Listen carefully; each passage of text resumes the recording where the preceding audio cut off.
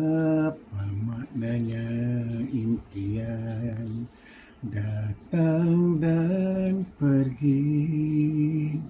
Membawa hati menyusuri kembali. Jalan jalan sepi. Masih baru di channel ini, jangan lupa tekan butang subscribe untuk dapatkan banyak lagi video terbaru selepas ini. Walaupun hatinya luluh diduga penyakit kanser limfoma tahap 4, namun penyanyi bersuara lunak merdu Ibnu Riza 62 merasakan terlalu banyak hikmah diperoleh sejak ditimpa sakit.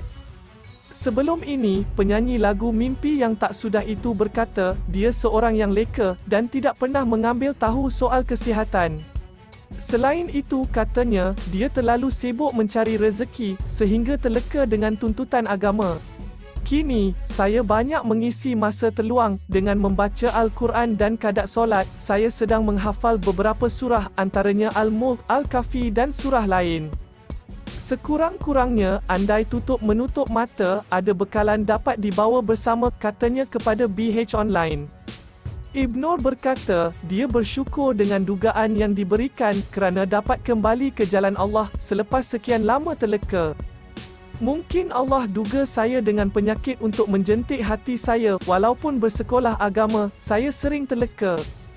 Jadi, masa yang ada digunakan untuk memperbaiki semula ibadah seperti menggantikan solat ditinggalkan dan menghafal beberapa surah penting katanya yang ditemui pada majlis berbuka puasa bersama Persatuan Melodi Kenangan Artis dan Penggiat Seni Malaysia. Selain mendekatkan diri kepada Allah, Ibnur berkata, hikmah lain yang dilihat adalah merapatkan hubungan kekeluargaan. Ibnur berkata, dia bersyukur kedua-dua isteri berebut mahu menjaganya.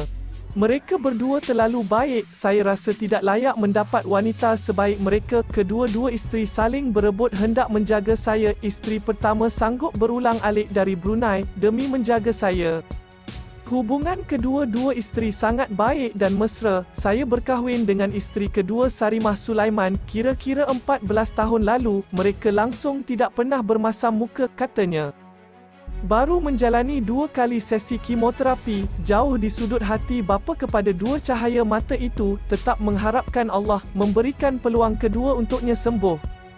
Ini kerana katanya anak bongsunya baru berusia 14 tahun, manakala isteri kedua Sarimah Sulaiman pula tidak bekerja. Justeru katanya, dia risau memikirkan perbelanjaan persekolahan dan komitmen bulanan yang perlu diselesaikan.